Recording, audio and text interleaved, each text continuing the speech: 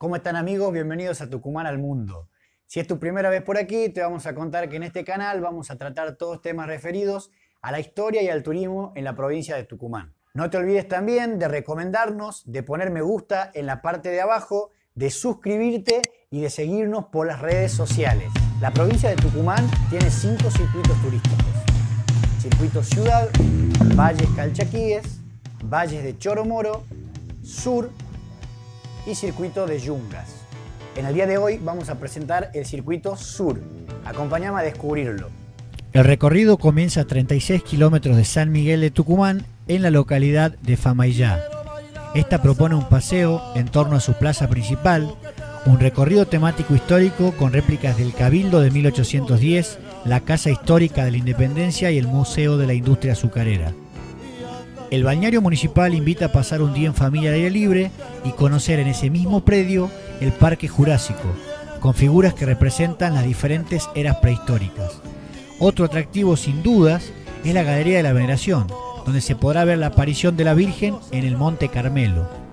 Famaillá debe su reconocimiento a la legendaria preparación de sus empanadas. La fiesta nacional de la empanada tiene lugar en el mes de septiembre, un jurado integrado por personas vinculadas al folclore y la gastronomía es el encargado de discernir los premios y elegir a la mejor empanadera del año. Continuando por la ruta 38 llegamos a Montero. Dentro de los atractivos recomendables podemos destacar la plaza principal Bernabé Arauz, la iglesia Nuestra Señora del Rosario, la biblioteca Bartolomé Mitre y la feria de productos regionales y artesanías del norte que se lleva a cabo en el mes de julio. La industria azucarera constituye el pilar de la economía local, aunque se destaca también por ser una zona de excelencia para el cultivo de caña de azúcar, limón, frutilla y arándanos, que gracias a las bondades del clima en la zona y la estratégica ubicación geográfica consiguen madurar fuera de su estacionalidad comparado con otros mercados internacionales. Es conocida como la fortaleza del folclore, donde todos los años en su fiesta reúnen a miles de personas que llegan de todo el país además de haber sido nombrada capital nacional de la randa, delicada artesanía de hilos entretejidos en un bastidor que fue introducida en la época colonial. ¿Sabías que en el departamento Monteros, precisamente en la localidad León Rullés, se encuentra el pueblo histórico Ibatín? En aquel lugar, en el año 1565, fue fundada la primera ciudad de Tucumán, Tucumán y nueva tierra de promisión. 120 años después, en el actual emplazamiento que se denominaba La Toma, en 1685 se da por inaugurado el nuevo San Miguel de Tucumán. A 72 kilómetros hacia el sur de San Miguel de Tucumán se encuentra Concepción, conocida como la Perla del Sur y la segunda ciudad de mayor importancia en la provincia. Las características económicas la hacen una ciudad muy movida. Posee una importante infraestructura de servicios por lo que lidera el circuito sur. La actividad agrícola es la principal fuente de recursos de sus habitantes, quienes realizan cultivos intensivos de caña de azúcar, papas y hortalizas. La Plaza Mitre es su plaza principal y fue bautizada en junio de 1901. Durante el recorrido por la ciudad se puede visitar también el Museo del Automovilismo Nasif Estefano, en el cual todo sorprende y cautiva. Puede verse los trofeos que ganó el ídolo, además de fotografías y recortes de periódicos de todo el país, como así también cascos vestimentas y otros elementos inherentes a la competencia.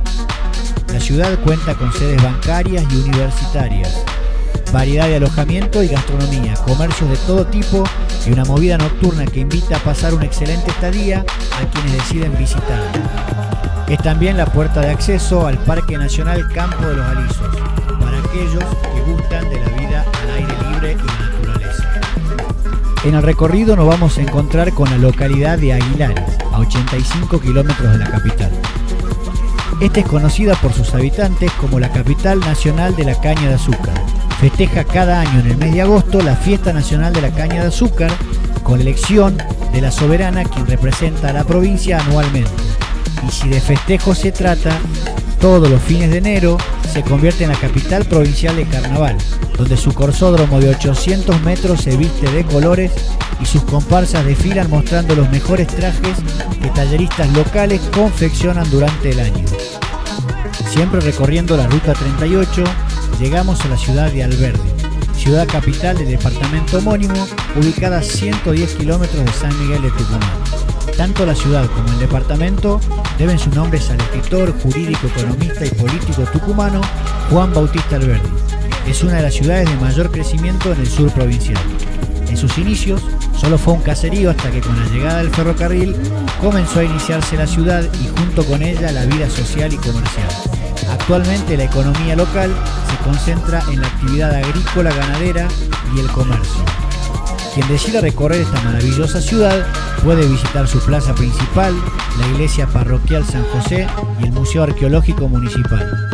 Dentro del departamento Alberdi destacamos uno de los atractivos más lindos que tiene la provincia de Tucumán, que es el dique Escava.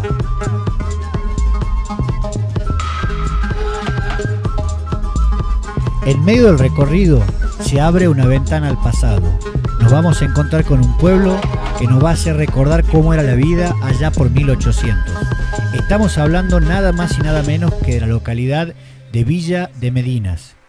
En la vieja iglesia puede verse una antigua imagen del siglo XVII de la Virgen de la Merced, traída a la Argentina por la familia del teniente gobernador don Gaspar de Medina.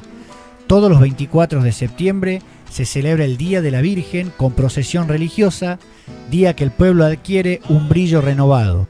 Una de las frases que vamos a escuchar con frecuencia en Medinas es la de Medinas no tiene riendas pero sujeta, queriendo denotar que quien es de Medina y se va, o quien visite el lugar, siempre regresará. Tacorralo se localiza en el departamento de Graneros, a 119 kilómetros de San Miguel de Tucumán.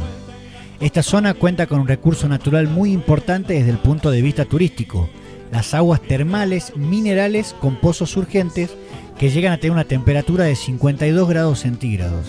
La localidad cuenta con una hostería en la que el visitante podrá alojarse, disfrutar de su gastronomía y además acceder a las piletas de aguas termales que ofrece. A 50 kilómetros de San Miguel de Tucumán, pero ya cambiando de ruta, nos situamos en la ruta 157, se encuentra la localidad de Simoca, conocida como la capital nacional del Sulki, es una localidad orgullosa de sus tradiciones cuyo exponente más auténtico es la feria de los sábados.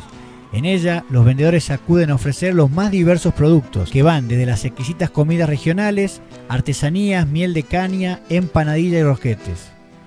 Este lugar cuenta con puestos de comidas típicas donde sigue vigente la modalidad del trueque de productos. Durante el mes de julio se realiza una verdadera fiesta que trascendió las fronteras de la provincia y del país, la fiesta nacional de la feria.